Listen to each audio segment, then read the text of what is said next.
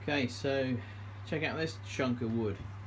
Uh, so basically, it's a piece of oak. Um, having a bit of a building uh, made at the moment, uh, in like a big garage, um, and um, stolen a couple of offcuts. Basically, um, this looks quite nice.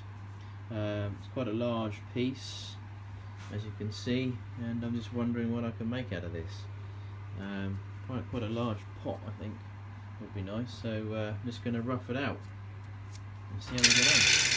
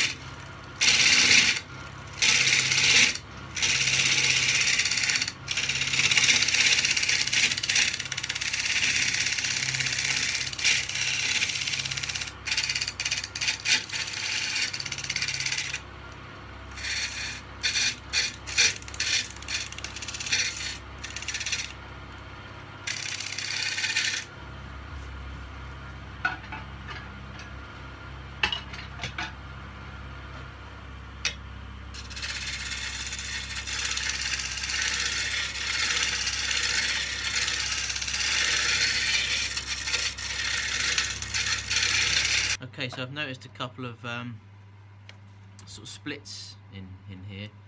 So what I've done is I've um, just put some super glue uh, in there, some thin uh, layer CA super glue, um, which has gone right inside the crack, uh, which, which basically goes all the way um, in here, um, from the top here.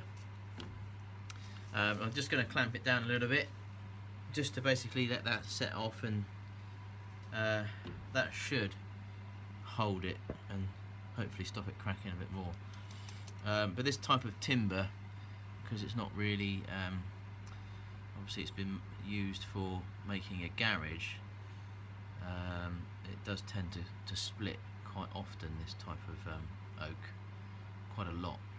Um, so I'm expecting some more splits now, I, I expect. Um, but let's hope there isn't. This, uh, this is a, the best piece I could find anyway. There are a few other bits, but they are full of splits already and cracks. So um, let's hope this will hold. Right, okay, so we've um, got this down a little bit more now. Still quite a chunky old uh, piece of wood, um, but I've uh, given it a bit of a sand as well. Um, so come up quite nice. It's a bit of sanding.